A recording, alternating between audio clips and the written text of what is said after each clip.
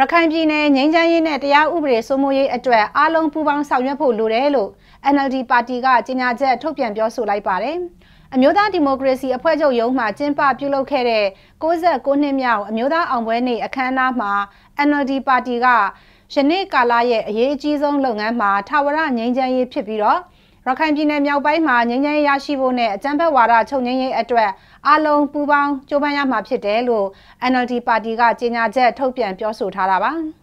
ယနေ့ကာလ၏ရေးအကြီးဆုံးလုပ်ငန်းမှာထာဝရငြိမ်းချမ်းရေးဖြစ်ပြီးအကြီးမားဆုံးစိန်ခေါ်မှုမှာရခိုင်ပြည်နယ်မြောက်ပိုင်းရှိငြိမ်းချမ်းရေးပြန်လည်ထူထောင်ရေးနှင့်တရားဥပဒေစိုးမိုးရေးထုံးသားစီဖြစ်ပါစေ။တစ်ဆက်တည်းမှာလေကျမ်းမဲ့ဝါဒချုပ်ငြိမ်းရေး အမျိုးသားဂုဏ်သိက္ခာနှင့်အချုပ်ချာအာဏာကာဝေးရေးကိုမစုံမနစ်ကြိုးပမ်းကြရဖြစ်ပါတယ်ရင်ဆိုင်ကြုံတွေ့နေရတဲ့စိန်ခေါ်မှုနဲ့ဖိအားတွေကိုအမျိုးသားရေးတာဝန်အဖြစ်ခံယူပြီးပြည်သူနဲ့အတူပူးပေါင်းပြီးခုခံရုန်းကန်မယ်လို့ကြေညာချက်မှာထည့်သွင်းဖော်ပြထားပါတယ်။အခုလက်ရှိမှာထာဝရငြိမ်းချမ်းရေးအတွက် အားလုံးပါဝင်တဲ့21ရာစုပင်လုံးကို အောင်မြင်အောင်ကြိုးပမ်းနေချိန်မှာထိပါမှုတွေအားလုံးခုခံကြရမယ်လို့လည်း NLD ပါတီခေါင်းဆောင်တဦးဖြစ်တဲ့ဦးဟန်တာမြင့်ကပြောဆိုလိုက်ပါတယ်ရှင်။